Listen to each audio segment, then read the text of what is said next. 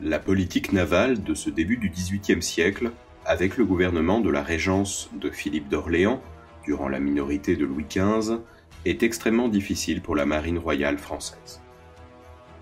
Les énormes dépenses engagées à la fin du règne de Louis XIV, en particulier durant la guerre de succession d'Espagne, où la France, forte de ses 25 millions d'habitants, a réussi le pari immense de tenir tête à toute l'Europe, ces dépenses ont fini de mettre à mal l'économie du royaume, qui va devoir se ressaisir rapidement. Pour un pays avec de très larges frontières continentales, le budget de l'armée de terre doit être donc maintenu pour des raisons de survie élémentaires, mais la marine se voit alors limitée à très peu de choses. Rappelons qu'un navire de ligne, un vaisseau, coûte 1 million de livres de l'époque, soit 1 milliard d'euros d'aujourd'hui. La Régence, qui commence en 1715, permet la transition entre Louis XIV et son arrière-petit-fils, le futur Louis XV, judicieusement surnommé le Bien-Aimé, tant la famille royale a subi les morts des héritiers successifs. Pour le régent Philippe d'Orléans, il faut absolument réduire les dépenses. Évidemment, la marine n'est pas vue comme aussi essentielle que l'armée pour la défense du royaume. Le cardinal de Fleury va diriger le pays jusqu'en 1743 et le très jeune Louis XV va donc vivre dans une bulle dorée à Versailles tout ce temps-là. Pour le jeune souverain, les questions navales n'ont que peu de sens et il ne verra pas une fois la mer durant son enfance. Ceci expliquera une partie de son désintérêt évident pour la marine, même si, on le verra, le jeune Louis aura l'intelligence de laisser faire ses ministres sans toutefois perdre de vue l'intérêt général du royaume et l'économie coloniale dans son ensemble. Louis XIV avait, en son temps, visité de nombreuses fois les côtes et les ports du pays et avait compris l'importance de la mer dans l'horizon économique, politique et géostratégique de la monarchie. Alors que la guerre de succession d'Espagne a obligé la France et son ennemi de toujours, la Grande-Bretagne, à déployer un effort sans précédent dans la construction navale, le développement des vaisseaux et frégates et l'entraînement des équipages, les Anglais semblent alors les seuls à même de pouvoir maintenir et conserver leur développement naval après 1715. En effet, Londres craint la montée en puissance de sa voisine d'outre-Manche aligne la plus incroyable et la première force terrestre du continent. Une armée française réputée invincible et à juste titre à l'époque, du point de vue des cours européennes. Pour la France, exsangue, au sortir de ce conflit gigantesque pour imposer un prince de la famille de France en Espagne, le choix n'existe pas. Il faut réduire impérativement les dépenses afin d'éviter de voir le pays sombrer dans la famine. D'ailleurs, Louis XIV le savait, et ses successeurs, surtout Louis XVI, s'en apercevront, c'est par la mer que l'on peut aller chercher le grain, les céréales, venus des rivages de la mer Baltique, de Pologne et de Russie, ce grain qui permettra de nourrir les 25 millions de Français quand les récoltes seront mauvaises. C'est aussi par la mer que passe la grande majorité du commerce mondial. Les gouvernements de la Régence et celui de Fleury de 1715 à 1743, choisiront donc la paix et la prospérité, jugeant la période précédente trop agressive, bien que le bilan du roi Soleil soit, à l'équivalent de son surnom, un brillant succès territorial et géopolitique. En effet, la France avait alors doublé sa superficie en Europe, et les possessions d'outre-mer avaient pris des proportions sans précédent dans l'histoire de la colonisation des Amériques l'Espagne avait mis des siècles à acquérir un territoire équivalent, alors que les Français, sous Louis XIV, avaient exploré et annexé au royaume la moitié du continent en à peine 50 ans. Le budget de la marine reste donc très bas en ce début du XVIIIe siècle, dans les décennies 1720 et 1730.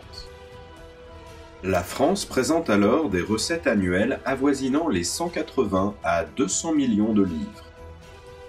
Sur ce budget global, un tiers est utilisé chaque année par le ministère de la Guerre pour l'armée de terre et les fortifications, contre seulement 5 à 6% de ce budget total pour le ministère de la Marine, soit 10 millions de livres, ce qui est dérisoire quand on sait qu'un vaisseau coûte à lui seul 1 million de livres. Même en construisant 10 vaisseaux par an, il faudrait une quinzaine d'années pour atteindre les effectifs britanniques, sans parler des coûts d'entretien et d'équipement des vaisseaux, alors impossible à assurer, surtout si l'on avait choisi d'augmenter les effectifs de la marine. Il n'y a donc pas le choix. Pour rivaliser avec la Grande-Bretagne, il faut avant tout enrichir le pays et trouver de nouvelles sources de revenus très rapidement. Le bilan est donc catastrophique pour la marine de l'époque. Les vaisseaux pourrissent à quai, faute d'entretien, certains sont transformés en machines, en engins de port, d'autres deviennent même des prisons flottantes. En 1716, le maréchal de Villars visite Toulon et écrit dans ses mémoires qu'il se désolait alors de l'abandon des anciennes citadelles flottantes, ces magnifiques vaisseaux qui, je cite, auparavant allaient porter la gloire du roi, celle de la nation et la terreur de nos armes jusqu'aux extrémités de la terre. Et il avait bien raison. Pour les marins, voir des vaisseaux mourir à quai, et surtout si on a servi dessus, c'est comme un coup de poignard en plein cœur. Le navire est une maison flottante qui a permis de traverser la planète, d'accumuler des souvenirs glorieux, avec un équipage qui devient une famille, mais aussi des images de paysages et d'animaux magnifiques. Vous pouvez d'ailleurs soutenir notre compagnie des terres australes, qui soutient non seulement la chaîne, mais également la faune sauvage en Afrique australe et centrale. Rejoignez notre combat en description en dessous de la vidéo. À Brest, Toulon et Rochefort en 1720, tout est à l'abandon. Les ateliers, les corderies, les magasins, les stocks gigantesques datant du grand siècle. Les intendants notent, dans leur rapport, que le personnel et les marins souffrent d'une pauvreté extrême et que de l'herbe pousse même entre les pavés des arsenaux désertés. La situation des ouvriers et des maîtres de métier, les ingénieurs, et des plus précaires. Le ministère et les responsables des arsenaux essayent de leur trouver de l'emploi à la démolition des anciens navires et surtout en les faisant travailler pour la construction des navires de commerce. Une activité qui va prendre alors un essor formidable. Il faut jongler avec les crédits pour assurer quand même quelques lancements de navires neufs, construire la coûteuse et superbe forteresse de Louisbourg, proche de l'Acadie, et contrôlant l'entrée et la sortie du stratégique golfe du Saint-Laurent, porte d'accès du Canada et de Québec, c'est-à-dire des immenses ressources du centre du continent nord-américain. On entretient même encore un inutile corps des galères, difficile à réformer du fait des traditions méditerranéennes de l'usage de ce type de vaisseau, utilisé depuis l'Antiquité, devenu alors obsolète. On peut donc, en 1721, parler d'un abandon organisé de la marine royale. Les effectifs avoisinent les 31 navires, soit à peine plus qu'au tout début du règne de Louis XIV en 1661. C'est donc une catastrophe. De plus, l'absence de construction de navires depuis la guerre de succession d'Espagne implique que les vaisseaux ont en moyenne 12 ans en 1702 et cette moyenne passe à 18 ans en 1713. En 1720, l'âge moyen d'un navire est alors de 24 ans, soit 10 ans de plus que la durée habituellement prévue pour les bâtiments. De vrais dinosaures si on les compare aux navires anglais. Des petites vagues de construction apparaissent cependant de 1722 à 1724, puis de 1727 à 1728. Ceci permet de tirer du sommeil et de la léthargie les arsenaux et apporte un air frais indispensable à une flotte impatiente d'en découdre de nouveau avec la Royal Navy. 20 vaisseaux et 4 frégates sont lancés en 3 ans, soit 22 millions de livres dépensés dans la marine. Puis une pause et de nouveau, 3 vaisseaux et 6 frégates viennent rejoindre les vieilles unités, soit 6 millions de livres dépensés de plus dans la marine. En 1729, il y a donc en théorie 51 vaisseaux disponibles, mais ça c'est sur le papier, car en réalité, seuls 38 sont vraiment capables de combattre en haute mer.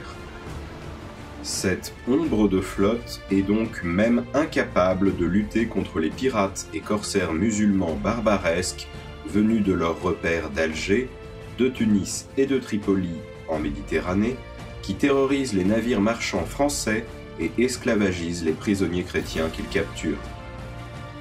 Il y a bien cependant une expédition contre Tripoli en Libye, menée par Duguay-Trouin, qui vient châtier les barbaresques de cette côte afin de venger les attaques perpétrées contre les navires de commerce français, ainsi que des razzias sur les côtes de Provence.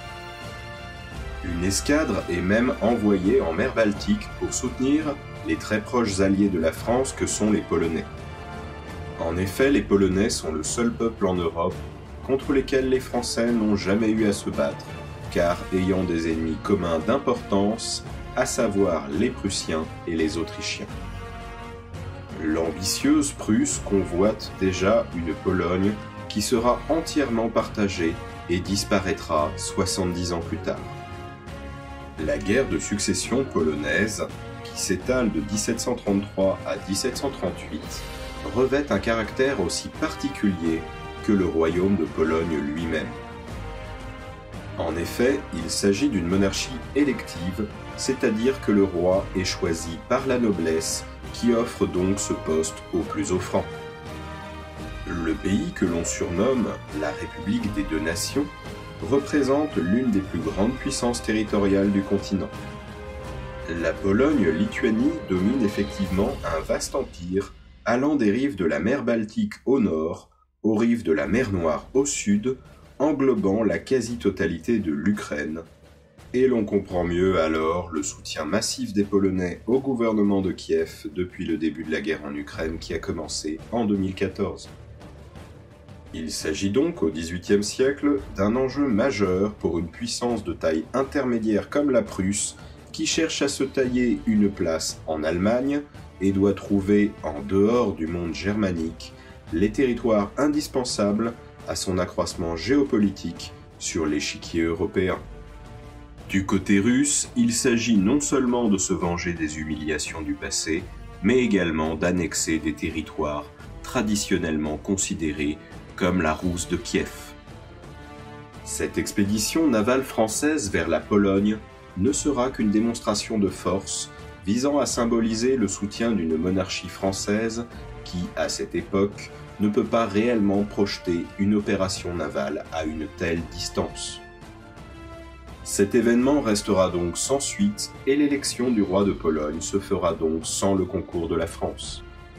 Une dernière représentation navale aura lieu vers la Baltique, où l'allié de la monarchie française, qui est la Suède à ce moment-là, continue de fournir au pays les indispensables ressources dont la marine royale a tant besoin. Le bois de construction, les agrès, les pièces d'artillerie alors les meilleures d'Europe, mais aussi des cordages et les indispensables immenses arbres de la Scandinavie nécessaires à la réalisation des mâts des navires. Une alliance suédoise voulue depuis Richelieu et la guerre de Trente Ans de 1618 à 1648 qui permettait au royaume de soutenir la plus grande puissance militaire d'Europe du Nord qui défendait alors la cause protestante contre l'Autriche catholique. Les Habsbourg de Vienne étaient déjà à cette époque les principaux ennemis de la France sur le continent. La Baltique, qui fut un lac suédois durant toute la deuxième moitié du XVIIe siècle, était aussi la source des céréales, venues de Pologne et de Russie, et nécessaire à une France surpeuplée de ses 25 millions d'habitants, qui doit parfois recourir aux importations de grains quand les récoltes sont mauvaises et que la famine gronde. Ces interventions marginales qui précèdent la guerre de succession d'Autriche dévoilent un problème majeur l'état dans lequel se trouve le corps des officiers. Duguay-Trouin, par exemple, est un vétéran de la Royale du Grand Siècle, et la plupart des capitaines et amiraux qui vont servir jusqu'en 1740 sont de la même génération. Ils ont été bien formés par la dure expérience des conflits de la fin du règne de Louis XIV, ce qui constitue un capital humain très précieux. Le ministère de la Marine a l'intelligence de les maintenir en fonction ce qui va aiguiser leur savoir-faire et leur expérience. Ils sont au nombre de 1200 et cet effectif qui dure depuis Colbert-Seignelay va se maintenir pendant quasiment tout le XVIIIe siècle. Le bémol général vient du fait que ce personnel maritime manque d'un très sérieux entraînement, au contraire de la Royal Navy qui maintient une très forte présence en mer de ses vaisseaux et de ses hommes, même en temps de paix, afin de les former et de les endurcir. Rien de tel n'existe côté français par manque d'argent.